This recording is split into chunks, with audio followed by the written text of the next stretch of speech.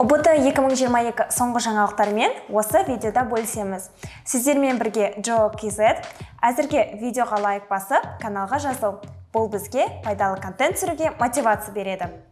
Ұлттық тестілеу орталығының мәлімдеуінше ұбт 2022-нің грант ұбт-сына 290 мыңнан астам өтінім түскен. Қазіргі таңда ұбт 220 мың тапсырылды. Ұбт басталған уақыттан бастап тұрақты орташа балл 65 ал тестілеу мерзімі бітуге таяғанда 66 болып өзгерді.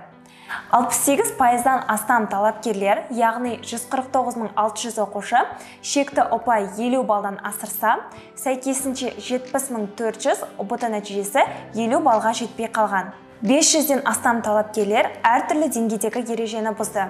Сәйкесінше оларға тестілеуден шығару немесе нәтижені жою секілді шараларды қолданды. 290 түлек 130-139 аралығында балл жинаған. Ал 50-69 аралығындағы нәтижені 65 мыңнан астам оқушы көрсетті. Ұбт балыңмен қай мамандыққа түсе алатыныңды көру үшін JoKZ приложениесін жүктеп ал. Мамандықтар бөліміне өтіп мүмкіндігіңді анықта еске сала кетейік келесі аптада грант ұбт аяқталады.